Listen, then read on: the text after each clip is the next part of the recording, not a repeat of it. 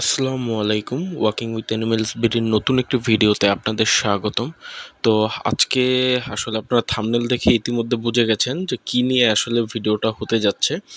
তো আজকের main topic হচ্ছে গ্রিড নিয়ে। গ্রিড আসলে কি? গ্রিডের উপকারিতাটা কি? গ্রিড জিনিসটা কি? এবং কবুতরকে কেন গ্রিড খেতে দেওয়া হয়? সেই ব্যাপারটা নিয়েই আজকে আলোচনা করব। আশা করি ভিডিওটা আপনাদের ভালো লাগবে এবং সম্পূর্ণ বিস্তারিত আলোচনা করার চেষ্টা করব যেন আপনাদের কোনো অসুবিধা না হয়। তো আসুন ভিডিওটা শুরু করি। প্রথমে আমরা আলোচনা করব গ্রিড কি। গ্রিড হচ্ছে ইটের কণা, নুড়ি পাথর, ডিমের খোসা, লবণ ইত্যাদির একটি মিশ্রণ। এটা আসলে কবুতরের হজম শক্তির বৃদ্ধির কাজে সাহায্য করে।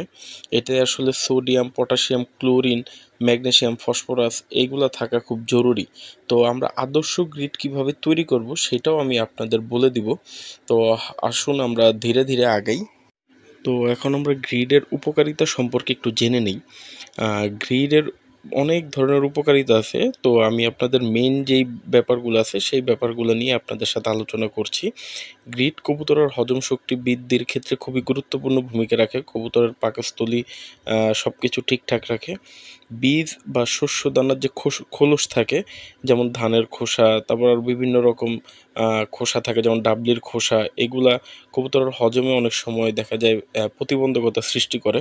তো গ্রিড দিলে হয় কি, এই জিনিসগুলো খুব সহজেই হজম হয়ে যায়।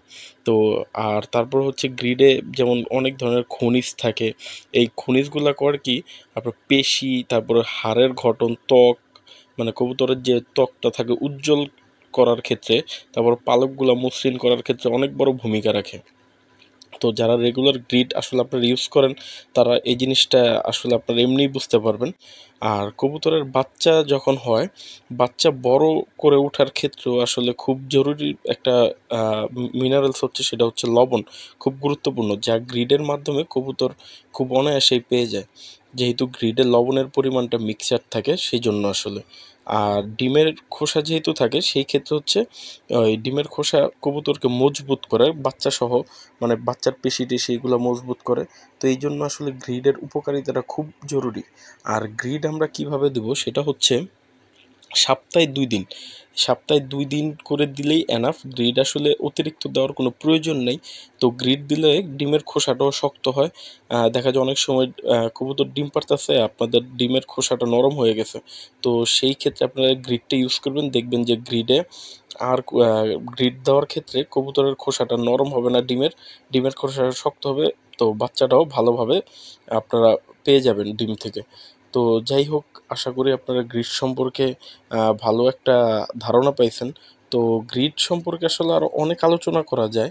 তো এত আলোচনা করা আসলে এই মুহূর্তে করতে চাচ্ছি না, কারণ যারা নতুন তারা আসলে দেখা যায় বেশি আলোচনা শুনলে আপনারা কনফিউজড হয়ে যাবেন আসলে গ্রিড কী। তারপর আপনারা বলে রাখি গ্রিড আসলে দুই রকমের হয়, দ্রবণীয়, অদ্রবণীয়। তো বিস্তারিত যে ফুল আলোচনা সেটা করতে আসলে অনেক বড় ভিডিও হয়ে যাবে, সেই জন্য এই ভিডিওতে শেষ করছি না। আগামী ভিডিওতে শেষ করব। ধন্যবাদ।